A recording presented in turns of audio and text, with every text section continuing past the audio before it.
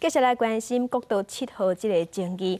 国道七号今仔日这刚要起是一直拢有争议，宽频。困难小组伫咧初审的时阵是建议讲无应该来开发，毋过这是引起高雄市政府一直继续伫咧争取。这个案伫咧早起是继续伫咧宽平大会伫咧审查。交通部甲高雄市政府拢强调讲，为着未来的发展是一定爱开发。不过环保团体甲沿线的民众是拢反对。到中到为止，这个案还阁伫咧审查。